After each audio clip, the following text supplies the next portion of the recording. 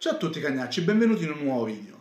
Purtroppo un buon reporter deve rimanere sul pezzo finché è piccante, ma credo che alla fine di questa settimana tutto il delirio scoppiato qui su YouTube giungerà alla sua conclusione. Però approfitto appunto del, di uno stato della pagina Facebook di Paolo Ruffini dove diciamo risponde a Mostarda di YouTube per fare questo vlog. Sarà un vlog aperto a Paolo Ruffini. Un vlog aperto che cosa sarebbe? Tipo una lettera aperta, quella che vedete sui giornali, dove un cittadino, un intellettuale, un professionista chiede a qualcuno del mondo della politica, a qualcuno del mondo uh, degli imprenditori o a chiunque altro, delle fa delle domande sperando che questi diano le risposte. Io voglio fare lo stesso con questo vlog, però Paolo, innanzitutto prima di farti queste tre domande sono molto arrabbiato con te perché quando fai un vlog contro YouTube dovresti citare anche il suo autore, che poi sarei io.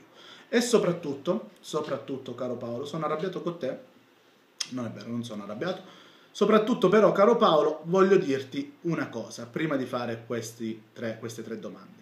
Io sono uno di quelli che ha criticato il film, il film, la mia critica la puoi trovare qui. E ero uno di quelli che era andato in sala per cercare il meglio del tuo film. Uscito dalla sala, tanto meglio non l'ho trovato, ho trovato poco. Ho trovato una buona verve comica di Frank Matano e soprattutto una buona recitazione, secondo me, del di quel ragazzo dei, dei, Pampers che non fa quello sulla sedia a rotelle, l'altro, quello che fa lo sfigato. C'ha un volto molto anni 70-80, sa di recitazione un po'... Beh, c'ha la faccia secondo me.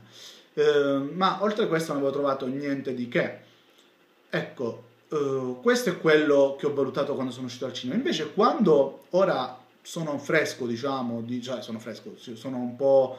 Uh, passato un po' di tempo dalla visione, ho visto un po' i risultati che ha avuto il film e sono d'accordo con te. Il film ha avuto successo, il film è stato molto visualizzato e questa è sicuramente una cosa positiva non tanto per il cinema, devo dire la verità, non tanto per il cinema, secondo me però per il web. Per il web perché potevo essere d'accordo con il discorso di Otobi quando diceva se la gente vede da fuori quello che è il web gli sembrerà la stessa merda della tv. È vero, però c'è anche da dire che quando bisogna trovare qualcuno che voglia investire sul web, ragiona soltanto con i soldi. È purtroppo una considerazione che che ho fatto in questi giorni. Ragiona in questo modo, nessuno mette un capitale di rischio su una cosa rischiosa, invece se una cosa ha um, delle dimostrazioni di poter avere successo, allora sarà disposto a investire. E alla fine, che tu voglia o no, qualunque sia stato il risultato del tuo film a livello qualitativo, e ti assicuro che non dipende da, persone, da quante persone hanno visto la qualità del film, a, di, a, di, a discapito di ciò Sicuramente il film ha un merito, quello di aver interessato, secondo me, i produttori al web. E sperando che questo tuo film eh, possa rappresentare un esempio di successo quando si utilizzano i personaggi del web, si mostra la loro forza, sperando che escano prodotti migliori del tuo in futuro. Certo, non vorrei che qualcuno pensasse che la cosa funziona, basta fare una cosa così demenziale, una cosa così poco curata tecnicamente. No, non funziona così. Questa è la novità e sempre le novità sono le cose più seguite, più viste. Anch'io sono andato al cinema a vedermi il film la seconda volta ehm, per notare alcune cose. Quindi al netto di tutto ciò, ti faccio i complimenti per questo che tu lo volessi o no e passo alle tre domande. La prima domanda è, tu ami il cinema? La prima domanda è molto semplice e te la chiedo, sai perché? Perché io penso, e perciò vorrei una tua risposta, che chi ama il cinema non possa essere completamente soddisfatto di un prodotto soltanto perché è stato visto e sa benissimo che non è stato visto per l'opera che ci ha messo, ma è stato visto per i personaggi che ci ha messo. Quindi se tu ami il cinema, sei soddisfatto di questo risultato, a livello tecnico, nel senso secondo te il film è girato bene, non ha pochi elementi tecnici, solo pochi controcampi, pochi carrelli, non è un po'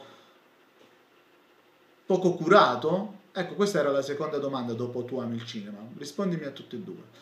Una volta fatte queste due domande, arrivo all'ultima, la cosa più importante secondo me. Diciamo che è una specie di dire apri feed, ma non esattamente così. Perché non utilizzi la tua popolarità e la tua forza mediatica su Facebook per, che hai raggiunto anche grazie al fatto di collaborato con personaggi di internet, questo secondo me è indubbio, Perché non utilizzi questo per aiutare un altro film italiano che comunque ha avuto buoni risultati, buon riscontro, che però ha bisogno un po' di più pubblicità di quella che hai ricevuto tu? Ed è PIF, la mafia uccide solo l'estate. Saresti disposto a pubblicizzarla sulla tua pagina Facebook oppure devi tener conto di qualcuno, magari c'è qualche problema nello sponsorizzare film che magari non lo so, non so come funzionano queste cose. Questa è solo una domanda, appunto tu mi risponderai. Chiudo dicendo una cosa che spero accoglierai senza senza nel senso non, non, la prenderai sicuramente bene però io te la dico con serietà non sarebbe stato più giusto secondo te affidare la regia a qualcuno che ha studiato per farla, qualcuno abile, qualcuno che per te avrebbe potuto migliorare il film potevi rimanere soggettista, l'ideatore eh, quello che ha avuto l'idea. Invece ti sei voluto cimentare in una cosa che secondo me eh, non sai fare.